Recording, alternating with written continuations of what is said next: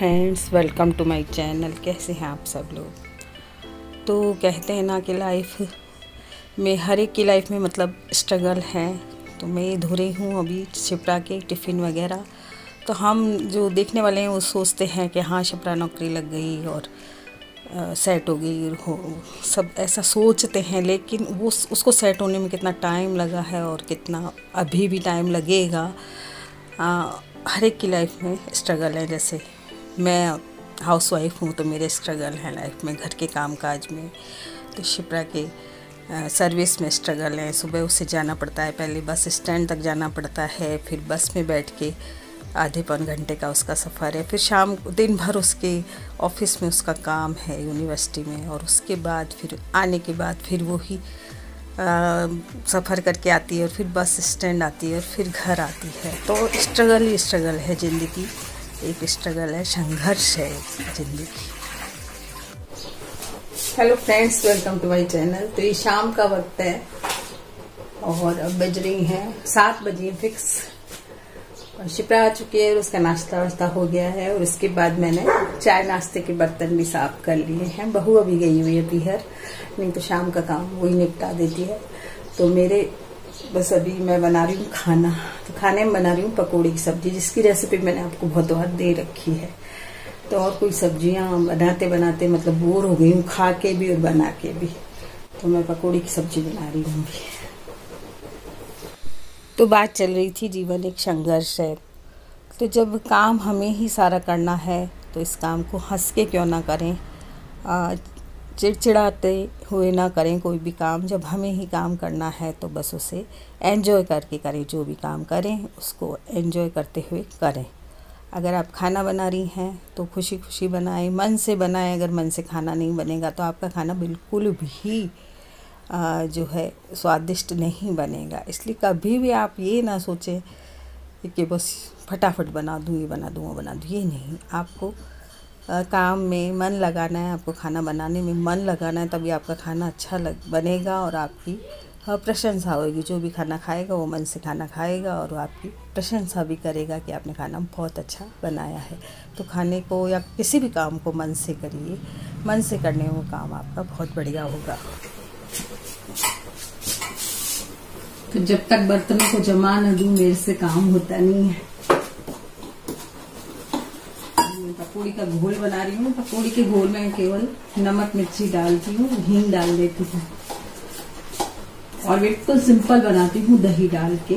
आप चाहें तो इसमें प्यूरी बना के डाल सकती हैं, टमाटर, प्याज, लहसुन, अदरक, मिर्ची सब डाल के। पर मैं सिंपल बनाती हूँ, इसको तो बहुत जल्दी भी बन जाती है।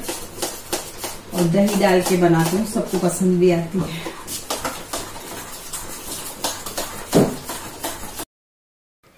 मेरी आदत है कि मैं किचन से जल्दी से बाहर नहीं निकलती हूँ। किचन में घुसूँगी तो मैं तीन चार काम करके ही निकलती हूँ। तो फिर मेरे हस्बैंड ने कैरी ला रखी थी और कैरी का जो आपको सामने मसाला दिख रहा है, वो मैंने बना के रखा है। और या फिर मैं दही जमाऊँगी। ऐसे कई काम मैं करती रहती हूँ या कोई भी चीज़ अपसेट पड़ी है तो उसको सेट करती रहती हूँ। इस तरह से मेरे को किचन में चाहे मैं खाना पंद्रह मिनट में बना लूँ, लेकिन मेरे को निकलने में बहुत टाइम लगता है। वापस निकल नहीं सकती हूँ, क्योंकि मुझे छोटे मोटे छोटे मोटे बहुत से काम दिख जाते हैं। तो कभी कोई डब्बे खाली हो गए तो उनको धो देती हूँ। ऐसे करके मैं छोटे मोटे काम करती रहती हूँ। कढ़ाइयाँ सारी नॉन स्टिक हैं, लेकिन इनकी सारी पॉलिश उतर गई है तो बहुत बुरी लगती है दिखने में। अब मैं नई खरीदूँगी या तो ऑनलाइन मंगाऊँगी, और या फिर मैं जाऊँगी बाज़ार, लेकिन बाज़ार जाने में भी इतनी गर्मी लगती है, बहुत ज़्यादा गर्मी हो रही है तो गर्मी में बाज़ार जाना हो रहा नहीं है। बहुत दिन से सोच रही हूँ कि बाज़ार जाके और कुछ खरीदू।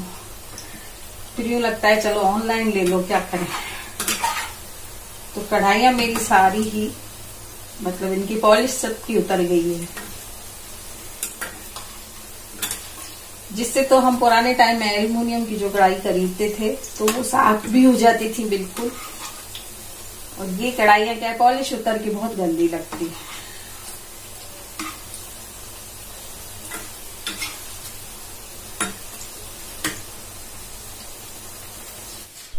किचन मेरी अभी बहुत ही ज़्यादा फैल गई है। बुधवार को मैंने पूरा घर साफ़ किया था, इस बुधवार में। किचन की सफ़ाई करूँगी तो आपसे ज़रूर शेयर करूँगी। अभी गर्मी इतनी है कि गर्मी में कुछ काम होते हैं और कुछ नहीं होते हैं। बस मूड भी होता है तो गर्मी लगती है और काम होते नहीं हैं। तो जैसे तैसे डेली की सफ़ाई करते हो, कर देते हैं। बाकी डीप सफ़ाई मैं बाद में करूँगी इसकी, तब आपसे शेयर करूँगी। तो अभी मेरी पकौड़ियाँ बन चुकी हैं और आज मैंने हाथ से नहीं बनाई है चम्मच से बनाई है तो थोड़ी सी बड़ी बनी है पकौड़ी और थोड़ा घोल भी पक पतला था इसलिए क्या है कि ये बड़ी बन गई है। अच्छा पकौड़ी पल्लव जी को बहुत पसंद थी शिप्रा बोलती है तो फिर मैं सबसे पहले बना के उनको उनकी फ़ोटो को चढ़ाऊँगी उसके बाद सब्ज़ी बनाऊँगी। तो मैं एक बार तीन चार पकौड़ी उनको चढ़ा के आऊँगी उनकी फ़ोटो में। और उसके बाद ही इसकी सब्ज़ी बनाऊँगी। तो यहाँ पर फ़ोटो लगी हुई है, जैसा कि आपको मालूम है। तो यहाँ मैं एक बार चढ़ा दूँगी उनको.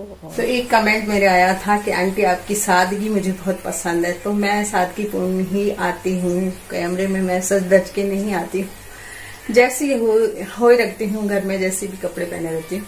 उन्हीं कपड़ों में आ जाती हूँ, चाहे मेरे पसीना आ रहा है, चाहे कुछ भी हो रहा है, मैं बिल्कुल नॉर्मल तरीके से कैमरे के सामने आती हूँ। सच धस के आना मुझे अच्छा नहीं लगता है। जैसे हम घर पे काम करते हैं तो अपने घर की ड्रेस में ही काम करते हैं। हाँ सच धस के तो रहे करने से काम। तो इसलिए मैं बिल्कुल वैसे ही आ जाती हूँ आपके सामने, जैसी मैं हूँ, जैसी मैं रहती हूँ। तो आपका कमेंट मुझे बहुत अच्छा लगा, और बहुत बहुत धन्यवाद इसके लिए। अथक को नमकीन चावल बहुत पसंद है। सुबह मैंने चावल दाल बनाए थे। अभी चावल बच गए हैं। मैंने वैसे ज़्यादा बनाए थे। मैंने सोचा था शिप्रा के लिए तल दूँगी, पर फिर शिप्रा के लिए मैंने पोहे बना दिए थे और चावल रख दिए अथक के लिए। तो मैं इसको नमकीन चावल बना रही हूँ और बिल्कुल सिंपल नमकीन चावल बनाऊँगी। उसको अच्छे लगते हैं। तो बस इनको घी में छोंक दूँगी मैं बाज़ार लगा के तो घी गरम हो गया है, थोड़ी सी जीरे डाल दूँगी मैं इसमें। थोड़ी सी राई और हल्दी डाल के छाप दूँगी।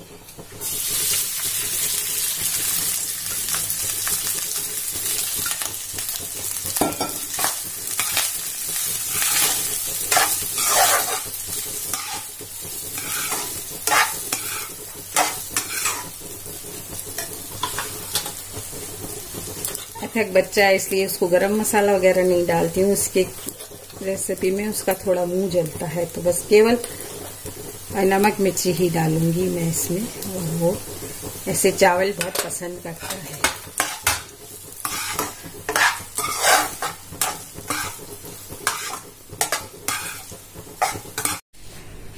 खाना तो मेरा बन चुका है थोड़ा सा अचार डालना था, उसमें मसाला डालना था तो वो डाल रही हूँ। रेसिपी मैं आपको पहले ही बता चुकी हूँ अचार की। तो आज की ब्लॉग में इतना ही। टिफ़िन वगैरह सब मैं रात को धो देती हूँ। बहू होती तो वो धो देती है, नहीं तो मैं रात को धो के रख देती हूँ। सुबह धोने बहुत बुरे लगते हैं, इसलिए पहले ही टिफ़िन सारे निकाल के और धो देती हूँ। थक तो छुट्टियाँ हो गई हैं, शिपरा का रहता है जाने का। तो रात को टिफ़िन साफ़ रहते हैं तो सुबह कोई चिंता नहीं रहती। है तो आज के ब्लॉग में इतना ही। मिलते हैं फिर कल एक नए ब्लॉग के साथ।